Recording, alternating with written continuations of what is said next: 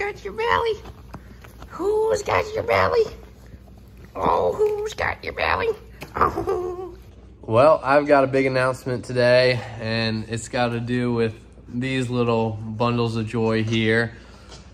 I decided I am finally going to take the next step in waterfowling and get a retriever. Uh, it's been something I've been talking about for a long time. I've wanted to get a retriever for quite a few years now, really ever since I got into waterfowl hunting. But I was in high school, the first couple years I was into waterfowl hunting, then I was in college, and throughout that entire time, I always was using that as an excuse to not get a puppy.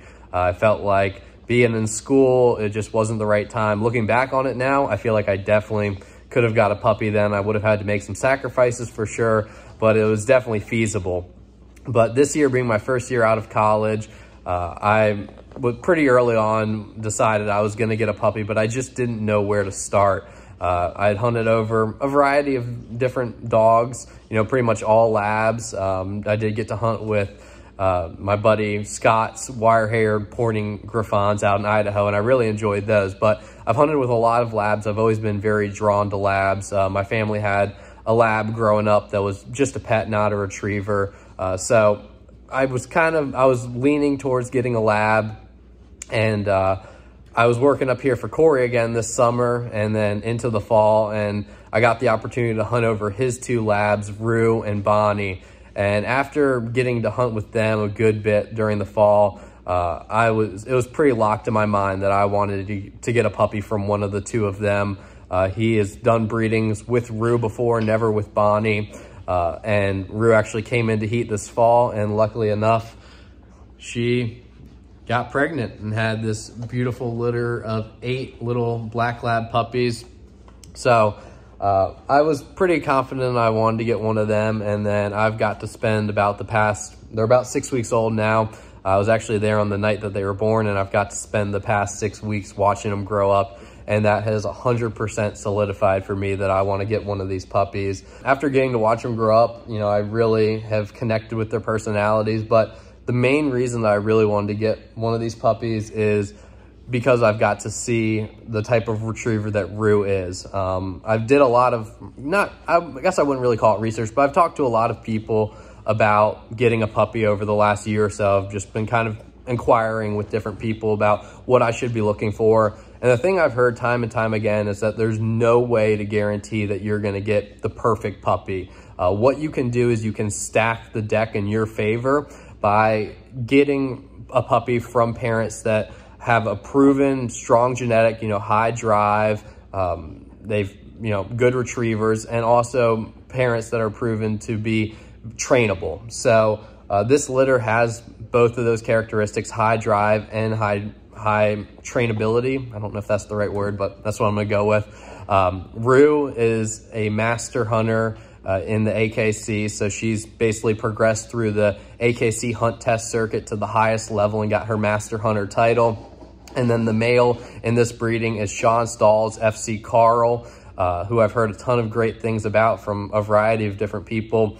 And he is a FC champion. So he's gone through the field trial circuit, which is an even higher standard. It's a basically competition instead of a test. You know, the AKC and UKC side of things, the retrievers are uh, trying to prove that they're up to a certain standard in those circuits. And then the field trial circuit, it's actually a bunch of retrievers getting together and competing to see who's the top retriever at that hunt test. So yeah, I've got to spend, like I said, a ton of time with them. I've actually, I'd spent time with them every single day. I've been uh, here feeding them, cleaning up after them. I've just got to really see the entire puppy process from start to finish.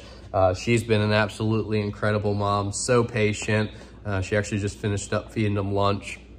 And so I've really got to connect with their personalities as well, which is something I've been absolutely blessed to have that opportunity. Not many people get that opportunity. I've really got to see each of their personalities develop. And uh, I've picked out one in particular that I've really been drawn to. I feel like he's really drawn to me as well. One thing I've heard time and time again uh, while kind of talking with different people about the puppy process is that just as much as you pick the puppy, the puppy picks you. And uh, Little Red Collar is a male. He's actually the run of the litter.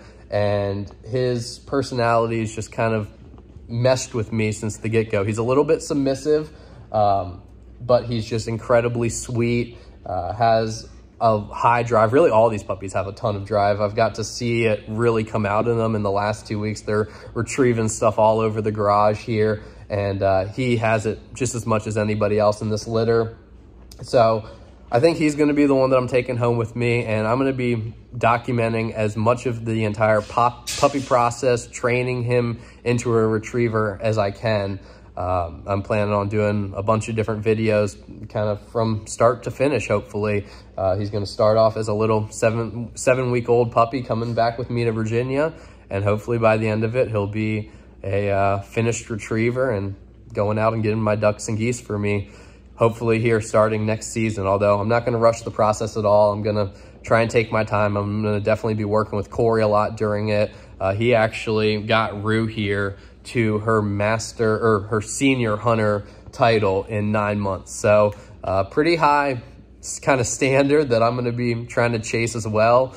But uh, yeah, I'm not going to have any super high expectations. Just going to, you know, try and turn him into an awesome little retriever because I know he'll have the genetics uh, to do it. So yeah, um, I guess last thing to touch on, uh, and hopefully this hasn't been too rambly so far, but I am still trying to pick out a name for Little Red. A couple names that I've liked so far that I've come up with. I really like the name Leroy uh, for a male dog. I also like the name Clyde. I like the name Tank, although I feel like Tank is a little bit uh, more commonplace. I'm kind of wanted to name him something a little bit more unique. So yeah, if anybody has any name ideas that you would think would fit kind of a little runt, runt male black lab, uh, leave in the comment section down below and I'm all ears and I'd appreciate it. But yeah, I'm incredibly excited about this. There's actually a couple puppies from this litter still available. So if you're interested in getting a puppy here in kind of the next couple weeks,